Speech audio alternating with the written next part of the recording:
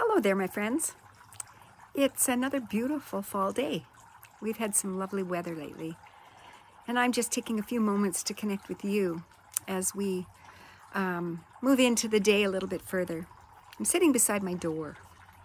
And my question to myself is, who is welcome? Who is welcome in my home? My question is, who is welcome in my heart? And then I want to go to who's welcome in our church. Galatians 3:28 says, "Welcome others as Christ has welcomed you." We are invited to be welcoming people. To be welcoming people in many ways, but what we tend to do is we tend to put people in categories. We put people in places where where those people are not as welcome as those people, or those people are not as welcome as those. I really enjoy sitting here on my step because people just kind of walk by and we get to have visits together.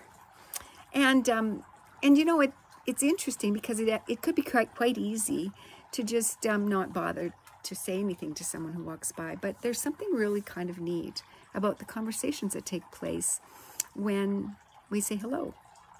And um, and even though they may not come into my house, we sit um, outside. And quite often people will tell me a little bit about their lives and, um, and I share a little bit about mine. Welcome means to share part of yourself with another person. And um, as I look at how Jesus lived in this earth, um, everyone was welcome. Everyone was welcome into his heart. And um, he spent time with so many people who the church people wouldn't welcome at all. He, um, he reached out to people that weren't welcome.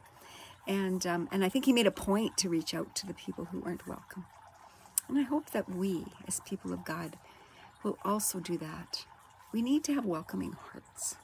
We need to have, we need to have welcome um, so that people know that God welcomes them and that God welcomes us. And God welcomes us all equally. And we are all the same to God. There's nothing different about how God loves you or me or anyone in this world, no matter who they are or what they are. And that is actually really, really, um, that, that, is, that is actually really powerful. All are welcome in God's heart. And so, as people of God, all need to be welcome in our heart.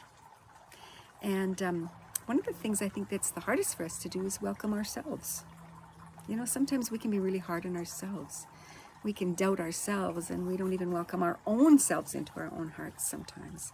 And so we're even encouraged by God to, to love ourselves.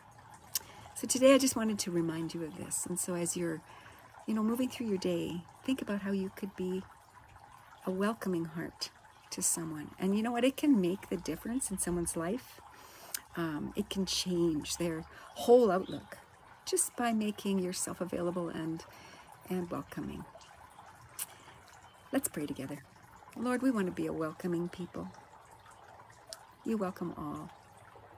And so I pray that you will help us, help me to have a welcoming heart. And help us to welcome ourselves into our own heart too, to love ourselves the way you love us.